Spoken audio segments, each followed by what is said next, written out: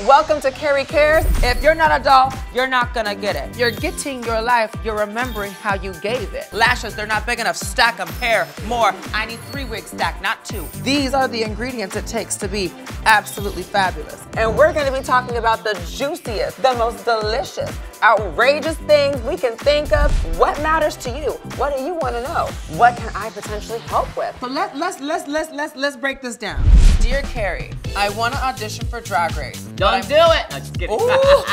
We wash our face with the same towel we wash our ass. Back is aching, my bra too tight, my booty shaking from the left to the right. Now it's time for you to go, cause I gotta go to bed.